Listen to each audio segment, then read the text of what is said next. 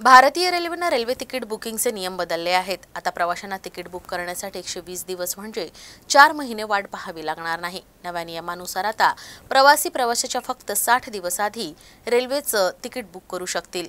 भारतीय रेल्वेचा हा नवा नियम एक नोव्हेंबर दोन हजार चोवीसपासून लागू होईल.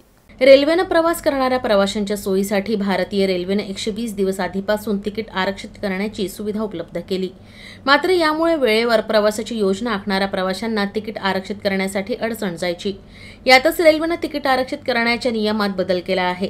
आता प्रवाशांना तिकीट बुक करण्यासाठी एकशे वीस दिवस म्हणजे चार महिने वाट बघावी लागणार नाही. नवीन नियमानुसार. आता प्रवाशाच्या फक्त साठ दिवस आधी ट्रेनचं तिकीट बुक करता येईल. भारतीय रेल्वेचा हा नवा नियम एक नोव्हेंबर दोन हजार चोवीसपासून लागू होणार आहे.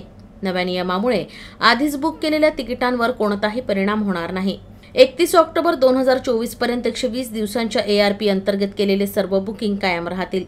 काही दिवस धावणाऱ्या ताजसारख्या एक्सप्रेस गाड्यांवरही त्याचा कोणताही परिणाम होणार नाही. विदेशी पर्यटकांसाठी मात्र तीनशे पासष्ट दिवसांच्या मर्यादेत कोणताही बदल झालेला नाही.